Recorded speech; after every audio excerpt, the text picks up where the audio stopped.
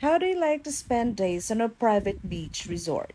Where you have an option to swim on salty waters or in a pool by the beach? Or frolic in a pool right outside your doorstep? And would you also like to have sumptuous breakfast in bed? Or on the beach? Or the poolside? Or the restaurant instead? Would you also like to watch the sun as it bids goodbye to the waves? And wait for the bonfire to be lit as soon as the twilight ushers in the majestic moon. Adventurers, welcome to the vlog.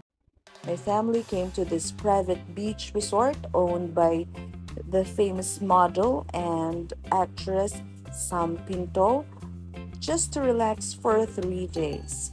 As you can see, my older son is enjoying his online game while eating, and my younger son, on the other hand, is watching his favorite YouTube video on a cell phone.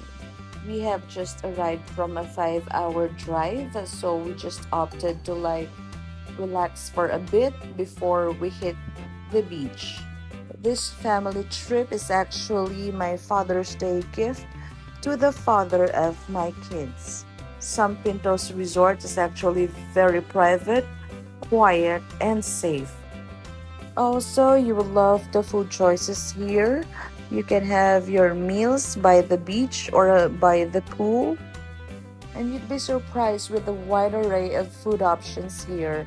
But the coolest thing about the restaurant is that they cook and serve food for your pets, especially for your fur babies. This is how pet friendly this place is.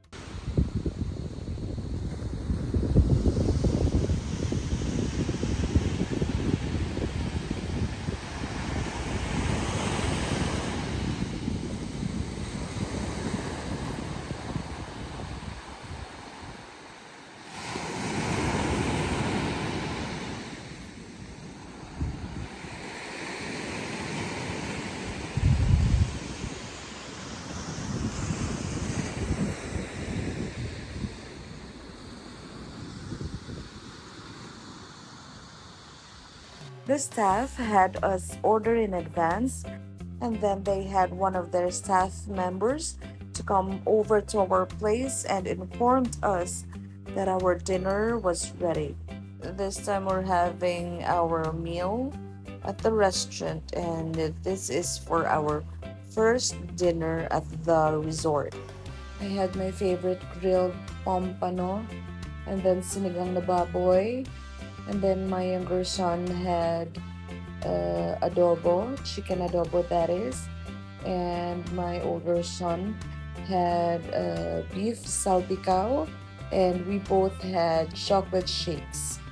And who would have thought that there is this private beach resort in the middle of the very touristy surfing town of Baler? Should you want a breath of fresh air while you relax and chill?